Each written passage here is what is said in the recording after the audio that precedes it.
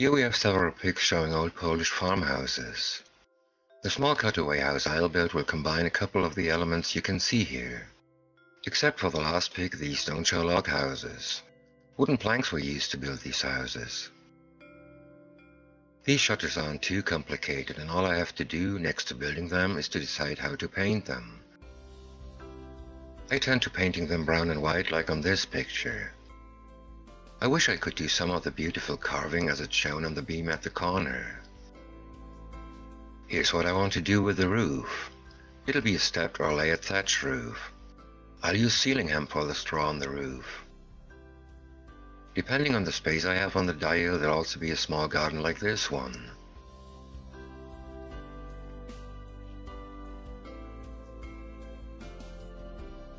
As usual, the materials I used are cheap. Many of you will have them around the house. Those I bought can be replaced with cheaper stuff. I bought 18 pieces of different veneer and a bundle of balsa wood, but you can also use McDonald's coffee stirrers. You'll have to send them thinner for the door and window frames, but at least the wood wouldn't cost you anything. I used foam board as base for the walls. I keep all packaging foam that comes along with stuff I and my neighbors buy. In this case I used a 9mm foam board. I cut a 1.5mm balsa board into 5mm wide strips. These long matches were used as roof beams. They cost next to nothing and they make wonderful beams with a real nice texture. At that moment I wasn't sure if I should use natural or yellowish colored sealing hemp. Cardboard was used for covering the walls from the inside. It was also used as base for the roof and the building itself.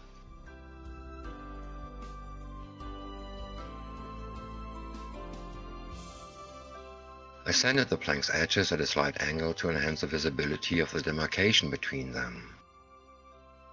The positions for window and door were marked on the foam board. I cut out the window after I had glued five layers of planks onto the foam board. The door was cut out after I had glued six more layers of planks into place. I wanted to give the foam enough stability before cutting out the openings, especially around the door. The long board on top of window and door needed cutaways to fit precisely. They'll be covered with frames. The middle section is slightly tilted. Well, here you can see that the Polish carpenters used planks they had handy. I decided that my job was good enough.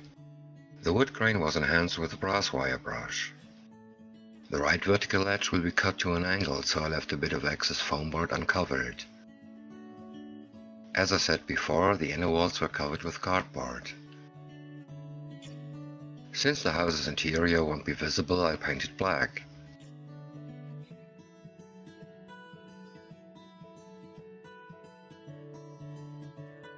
This part of the wall was built first. The window was cut out and the left edge was marked. As with the wall before, I left a little excess for the angle. That wouldn't have been necessary because this wall would be narrower on the inside than on the outside. And here's the reason why this wall had to be built in two sections. The foam board is 9mm thick plus 1.5mm for the balsa planks. The beam in the corner is only 7 by 7mm. Some cutouts had to be made for a proper alignment of both walls at this corner. Then the balsa planks were cut to length and glued into place as well as the beam.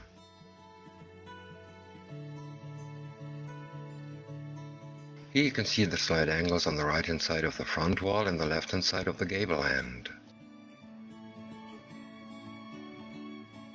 And now for the gable. According to the reference pic it has an angle of 45 degrees. The left hand side received the same angle as the lower wall section. I used toothpicks as dowels for the assembly of both wall sections.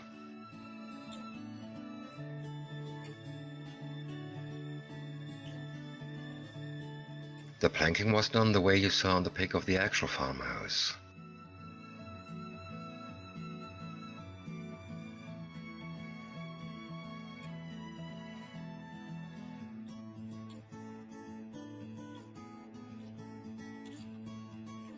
This piece of cardboard was glued to the inner side of the gable end.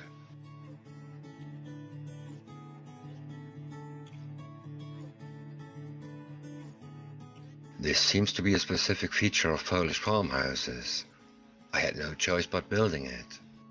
In my opinion, roof and canopy were the most difficult parts to build.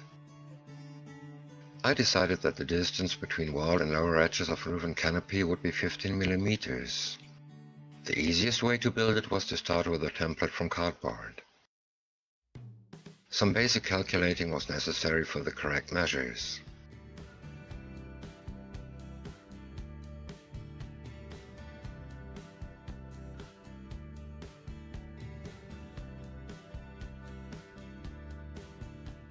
Using the template made measuring and cutting the veneer parts very simple.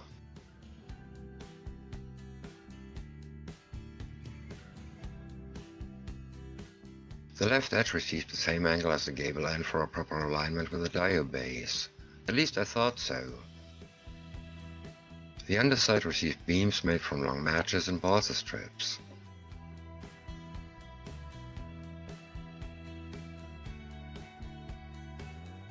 Some dry fitting. I liked the way it looked. The outside of the beams didn't fit precisely enough, but all I had to do was some sanding. Then I noticed that the left side didn't have the correct angle, so I changed it. After that, everything was fine.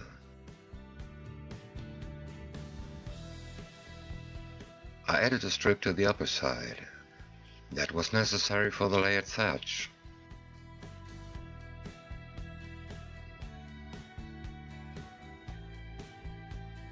I started with the frames for the frames. Strips of different width and length were cut and the narrow edges were centered to 45 degrees.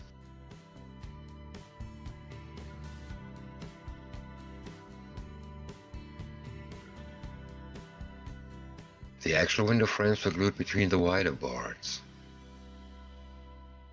Here's some dry fitting with the two side and the top frame. Not too bad.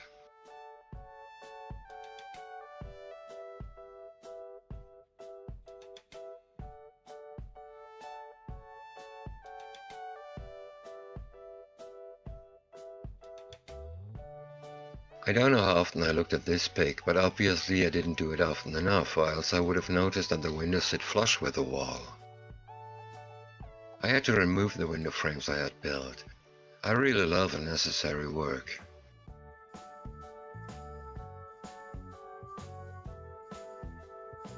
Then I built the outer covers for the frame. They consist of a wide board with a narrow one on top.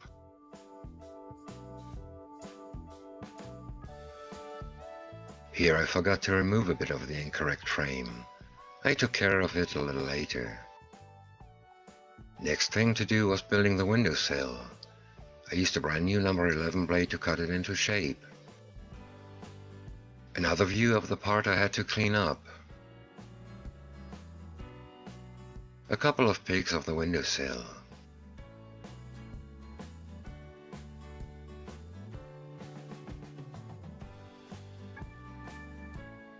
This gap was filled with a smaller board that is part of the sill.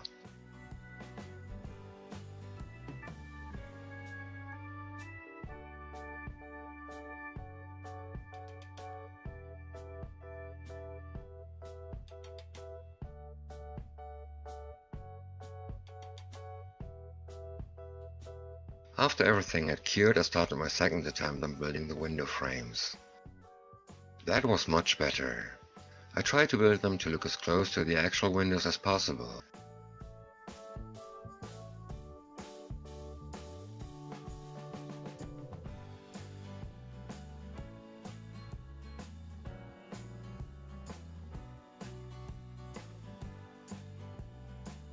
At last, that bit was removed. And then it was time to build the second window. I tried to avoid the mistakes I had made with the first one.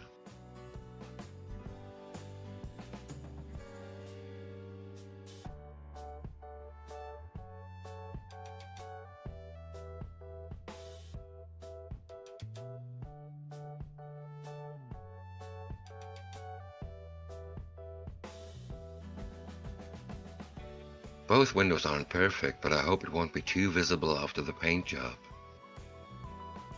Then I built the door frame. The threshold was made from a piece of 2x2mm wooden beam, a 5x0.5mm strip of wood and a piece of veneer. The right vertical part of the frame is slightly bent, so I had to shape the threshold accordingly.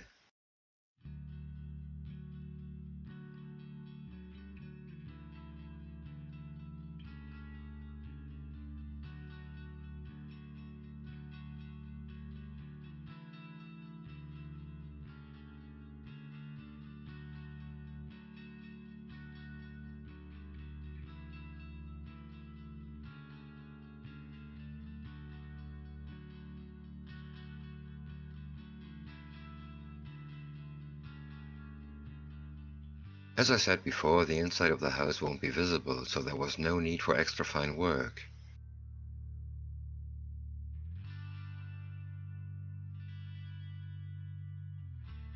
The door was made from a piece of 1.5mm balsa and strips of veneer.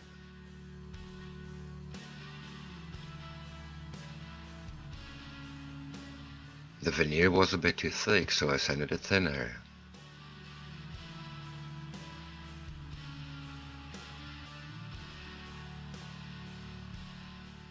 Fits nicely.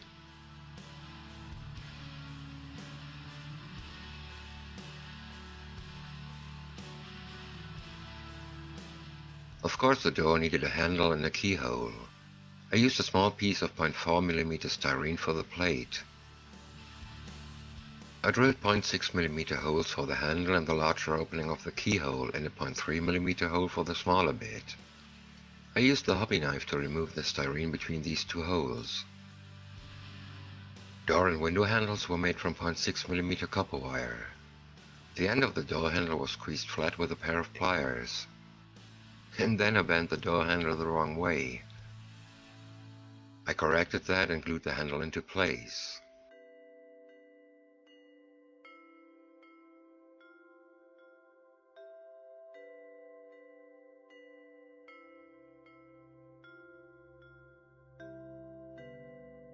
Then the window handles were glued into place too.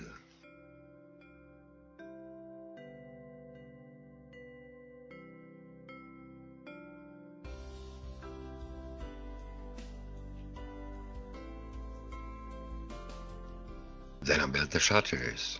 I cut off four matching pieces of veneer.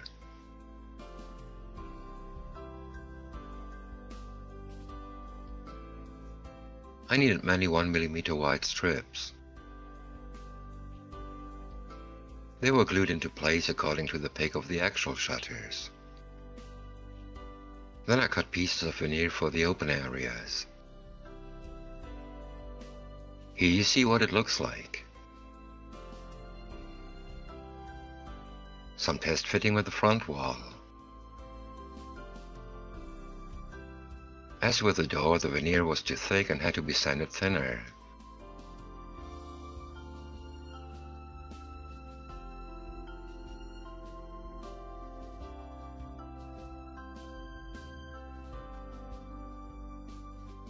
Final result. I'm happy with that.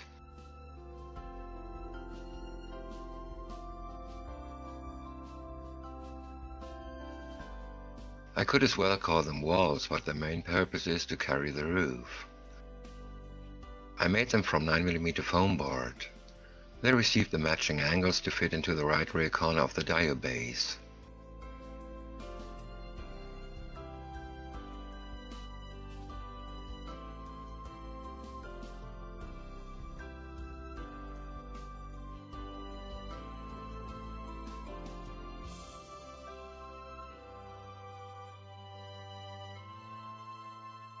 A small area of the inner wall will be visible because the door will be half open.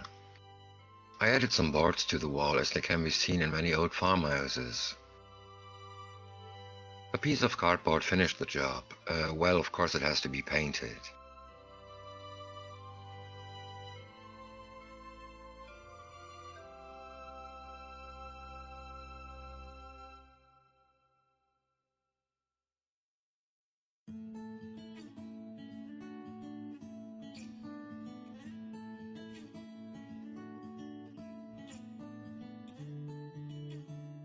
All open areas of the supports were covered with cardboard to give them more stability.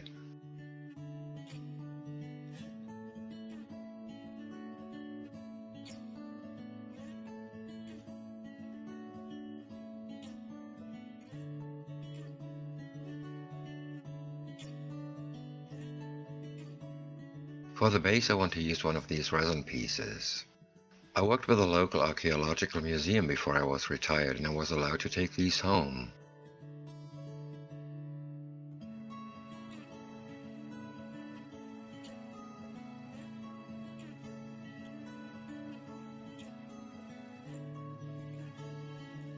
The parts are very thick and the molds were worn so there'll be a lot of sanding involved.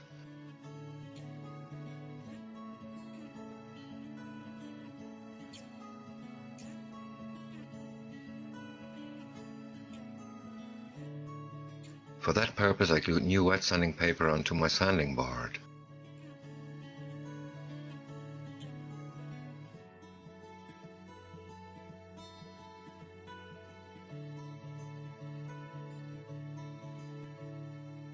I haven't decided yet, but I tend to using this piece.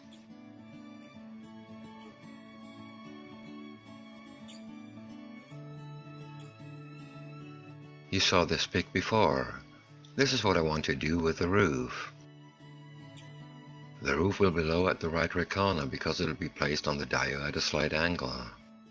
I laminated the cardboard and beech veneer.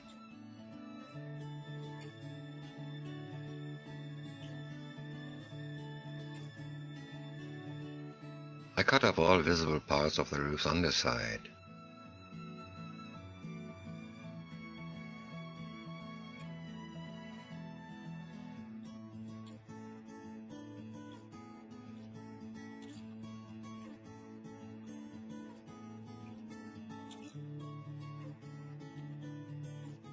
Then I cut them into strips, scrubbed them with a wire brush and glued them back into place. Here you can see the difference between before and after scrubbing.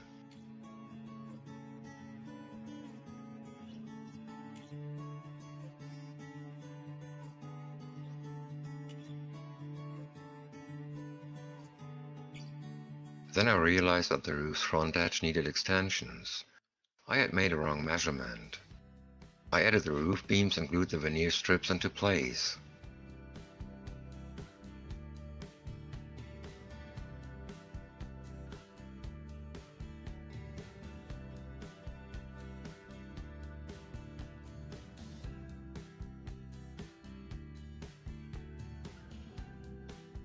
The long side received a narrow strip to make this edge thicker. I glue a vertical bar to it.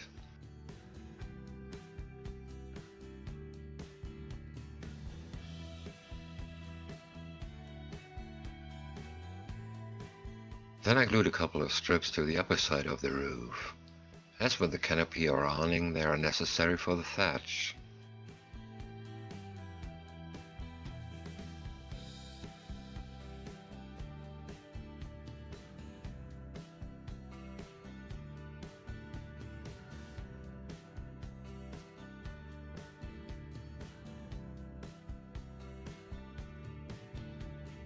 After that I glued contact areas for the cover to the roof's rear edge.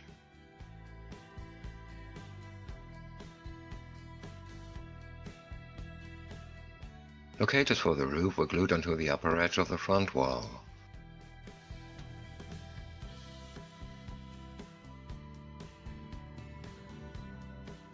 The same was done to the underside of the roof.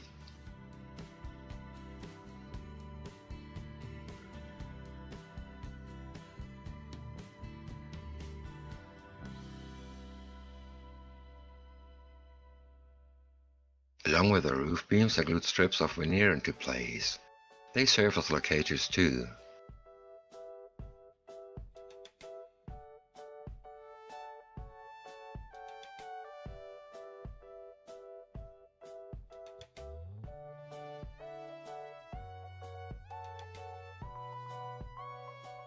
And then I started thatching.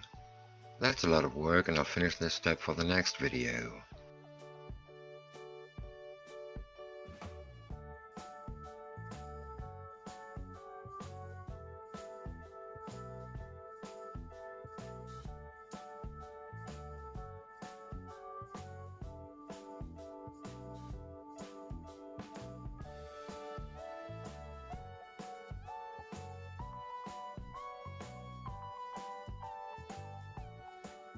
The canopy was finished.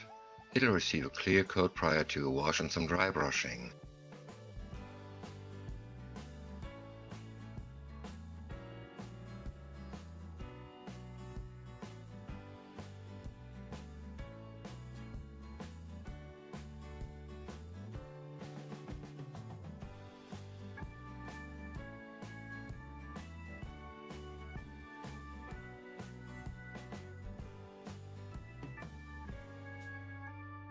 Now for a couple of pics that show what the finished farmhouse will look like. The window and door frames were primed. They'll be painted white and they needed a good base for that.